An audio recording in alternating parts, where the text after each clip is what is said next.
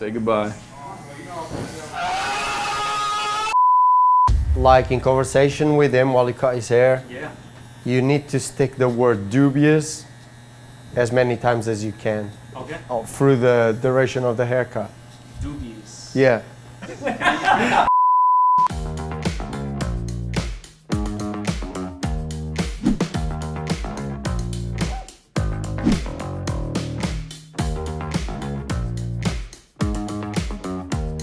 That's the hairstyle, eh?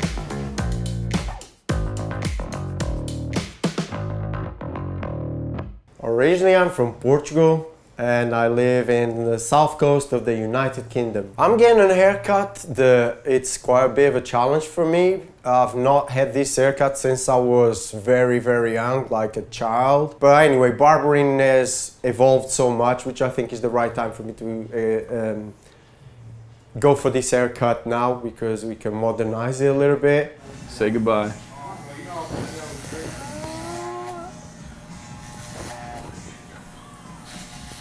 Yeah. I can't see anything, so I don't know what I, I look think we're. like. I think that's we're done. We're actually done. like, it's just a chunk. yeah.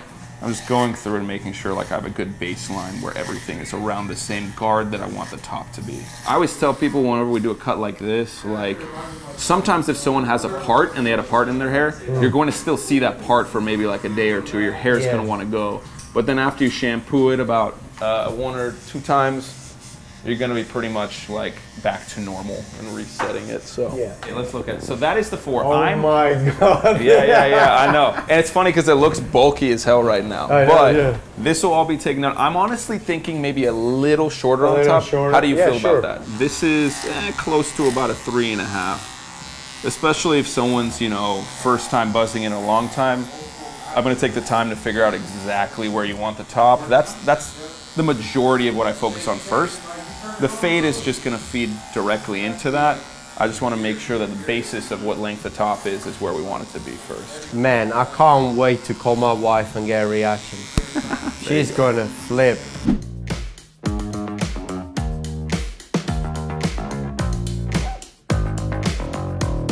Right now, I'm a manager of a convenience store, but I'm also attached to the, the United States Air Force and the reserves. So tell me what brings you to Austin. Uh, honestly, Beardbrand, I've been using the products for a couple years now and usually helps out. And when I found out, you know, Austin based and they had a barbershop, I figured I couldn't go wrong coming up here because usually in Killeen, I try to get a good spot and they, they tear up my beard every time. It's, it's the beard trim part that I struggle hard with. In fact, the one time I went in Killeen, not only did they just butcher my beard, she actually trimmed like half of this side of my mustache and left the rest. So I was lopsided. Just, it's just always been pretty tragic. Up top, I'm basically going with the girlfriend and just embracing the full Viking. Okay. And so we're going to take off the sides back and just go for a straight Okay. undercut. That'll be nice too, because I can still, I can kind of rock this while in uniform, and then once I'm done, I'll be be able to keep just letting it grow.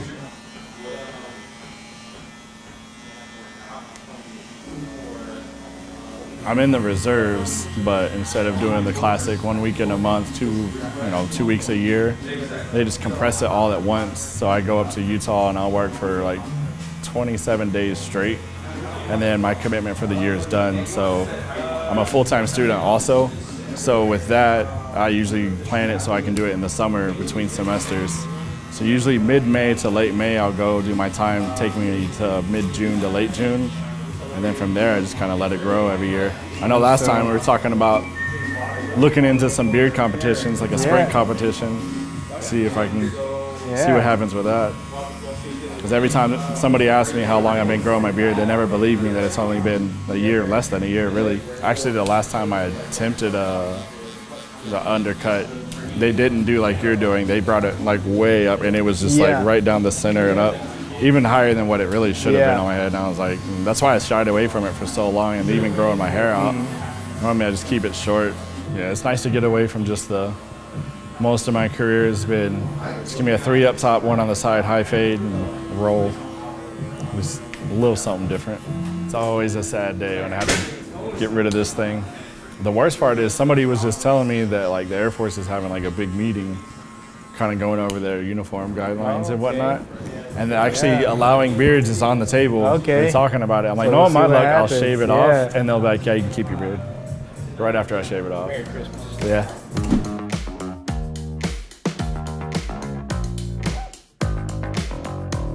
I drive across town to come to this spot specifically. There's probably 50 other barber shops I could have went to, um, but at the end of the day, like, I mean, Kenny knows what you know I want with my hair, and even on the times where I might be a little iffy on something, like he's always very clear in communicating, like, hey, this is what I'm gonna get for you, and this is what I think will be best. And 10 times out of 10, bro, it's usually you know the right fit. Definitely want to trim it up with some scissors on top. Okay. And then, and obviously, we can just kind of take it to like the same length you did last time. That was good, yeah. You like a little bit more low maintenance on top, something Yeah. you can kind of just wake up in the morning and go with. Mm-hmm. Cool. We can For like a solid week, you know what I mean? Are At you, least uh, a solid week. He's a he's a coach and a trainer, so you know he doesn't want to have to be taking care of his hair throughout the day too much. So yeah, we'll, we'll make it nice for you. Priority number one right there. How can I not look dusty for like 10 days? So pretty much what I'm doing is, you know, Christian, I typically do a higher mid fade on him just because like he likes it to last a little bit longer since, you know, he comes in every maybe two to three weeks. Um, so really I'm just putting in my bald line just a little bit higher than normal. Typically I'll drop it a little bit, but since I know, you know, he wants it to last a little longer, we're gonna we're gonna transition the fade a little higher. But yeah, I'm just putting in my bald line right now. It's kind of matching up, making sure everything's even on both sides, and then kind of whack away at it with a two and then start blending from there.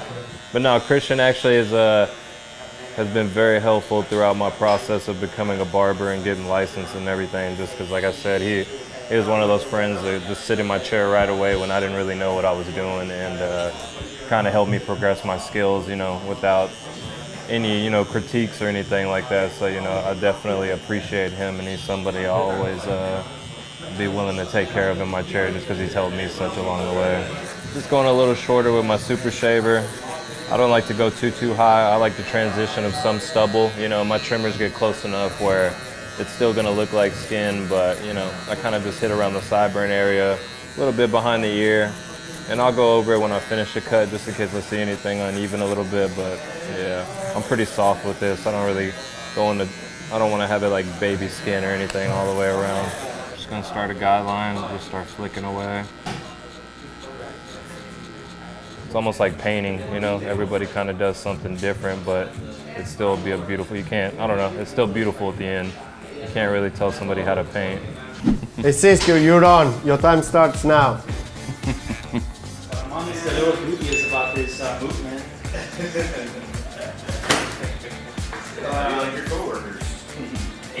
They're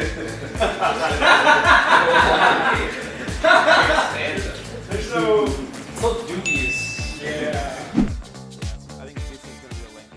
Can you see scars on my head? I oh, I can see a big got- one. I can see one. We got this. We got there's like one little one here. I feel like we're gonna find out. There's a massive moon-shaped one on my head, on the top, isn't it?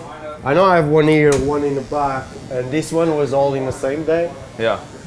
Um, yeah, stupid kid stuff. So who won is my question. Well, the, the stone, and then the ground, and the ground again.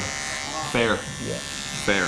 So right now I'm setting our bold line. So I'm gonna have it start about mid. So pretty close to where the curve of his head is uh, in terms of the hairline. And it's funny because I can see how it wants to even on the sides pull back.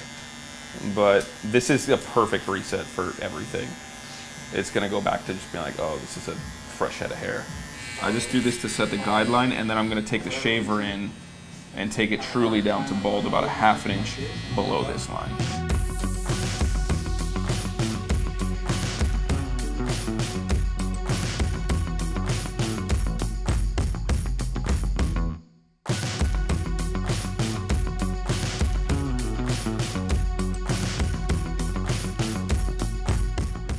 It looks great how it is. I'm very happy with how it's turning out.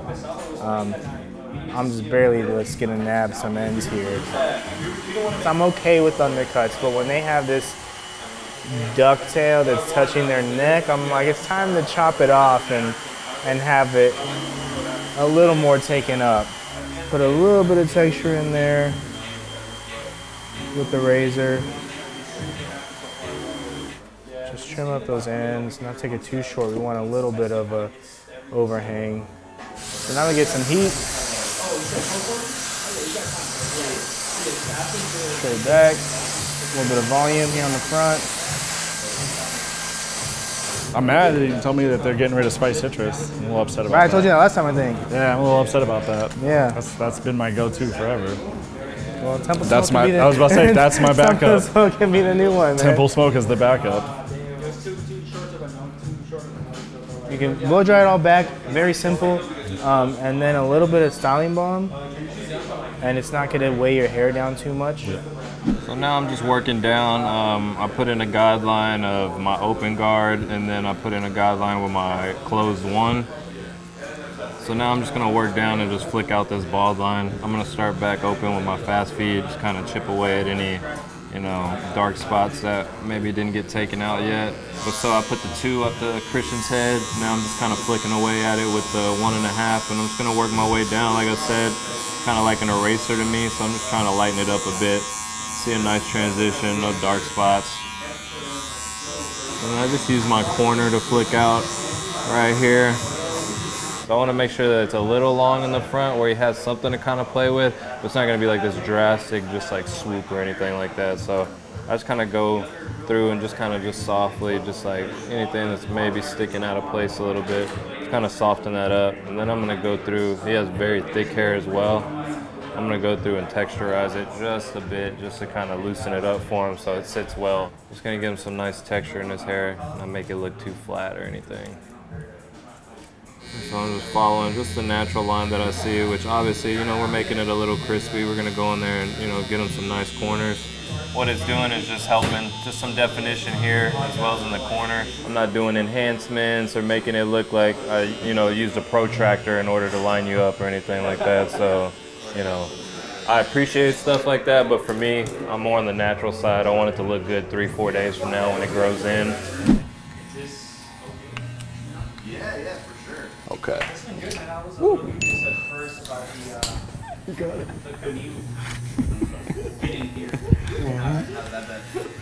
Where everybody was very like dubious about everything. They're like, I was very dubious about going. Did you hit 10? Yeah. No, not yet. Bro, we've definitely said You're definitely at like three. Dubious, dubious, dubious, dubious, dubious.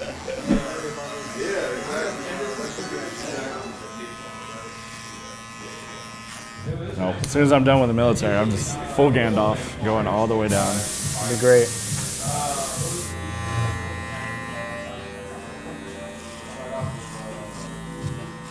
Is there anything in particular we're doing to the mustache? Just kind of trimming it back off Okay. the lip so I'm not eating it all the time. Okay, off the lip all the way? Yeah, yeah, Or- yeah. Well, okay. just off like right here. Okay, cool. Yeah. But still like groomable? Yeah.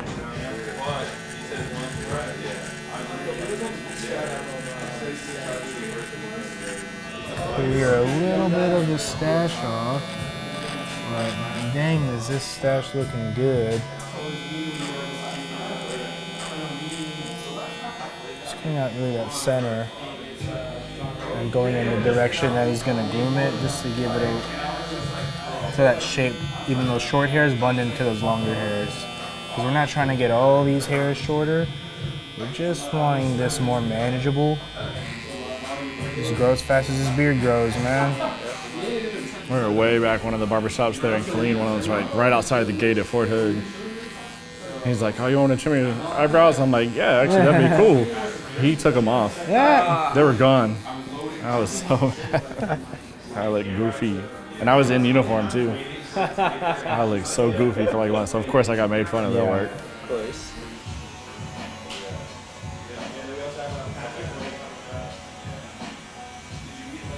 Some Temple Smoke Utility Balm. Just a little bit in here. Some of that stash. Some nice hold to it. I like that the beard is darker than the mustache a little bit. Yeah, it's really Let that, that mustache sticks out. nice contrast. I like to naturally line things up. We're just gonna line it up, connect it to the mustache as well as underneath the neck, jawline. And then if anything, I'm not gonna shorten the beard, but I may take some of these flyaways and just kind of just like round them into the chin and just kind of make everything lay down. Then since he has a skin fade on the side, we're gonna taper this from, you know, pretty short into the skin and just make it a nice transition. And then as you can see also, you know, he doesn't have the best connection when it comes to, you know, straight to his mustache line or anything. So, you know, he likes to drop it in pretty pretty well. So his is one of those where I guess obviously I'm pushing it in a little bit more than I normally would with people, but it's just to create that dominance and, you know, have some sort of, you know, drop on his beard and shape.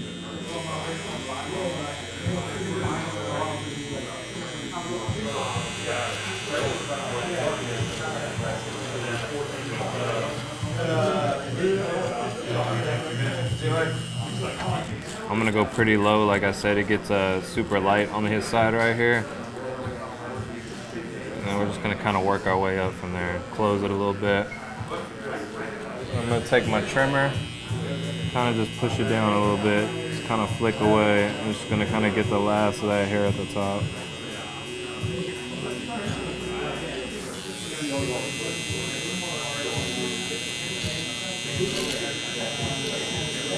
Gonna get my super shaver, last little detail work. Since he doesn't use razor, I still want to get it pretty close to where, you know, this new growth isn't gonna come back super fast. And then we're gonna style his hair today with some of the Temple Smoke by Beardbrand. I like this one a lot. Old Money was my favorite when I first started working here. I'm starting to gravitate a lot more towards this one. I, I really like the smell of the Temple Smoke. I don't know how to explain it. This just has when I smell, I know this is what this is what I want. So I like this one. We're gonna go ahead and try this one on him. Get it in your hands. I like to kind of emulsify it and get it nice and hot. It's gonna spread a lot better. And with him, I just kind of put it all in there. There really isn't. His hair is so short. There isn't no, you know, magic way to put it in or anything. I just like to get it in there and just move it around.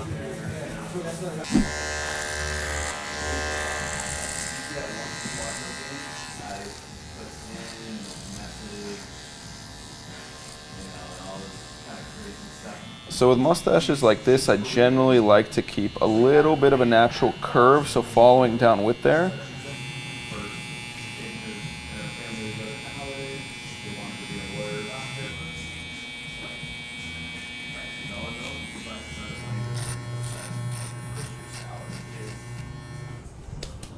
Tom Selleck's got nothing on me, mate.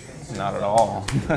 Tom Selleck's trying to look like you. I'm gonna grab a little bit of utility balm. This is the four vices. I'm gonna work it in. So I grab it, and almost like you're snapping your fingers. And what this is gonna do is it's gonna help all the stray hairs stay down and where you want them to go. It's a little bit of sheen, a little bit of control, and keeps everything where you want it to go. At first, I didn't, I wasn't quite sure about the haircut, but Arutin's got such uh, attention for detail, and you make these look really awesome. And I actually like it more than I thought I would. It's good to take, uh, you know, kind of risk sometimes. You might find something new about you. It's always a good one. I think last time actually I fell asleep during it. I just haircuts are relaxing when it's a good barber, and I just I'm out. I just love the haircut and the beard looks good. Yeah, I, I've recommended so many different people to uh, to Kenny, not just like the NBA guys and the people who want like the house calls, but like even just like the everyday guy who's you know like a, a colleague of mine or personal trainer of mine. Don't go to those generic barbershops. Like come to people who like know you by your first name. You know you have the Queen of Hearts, okay? And I have the Queen of Diamonds here. This is where it gets tricky. So you go, take a look here, take a look here, one more time, more time. Have a look. Queen of Hearts. Okay. Hearts, diamonds. I'm not good at memory. Alright, so we got the diamonds. I'll take the diamonds, I'm gonna switch you for the hearts. I pretend, I pretend again, I still have the hearts. I pretend one more time, you have the hearts, I have the diamonds. Which one's on top, which one's on the bottom? This is the heart. Hearts on top the diamonds. Okay, well, we, we do like this one here, you can see him over there in his pocket like that. So that means for this one here, you must have got the.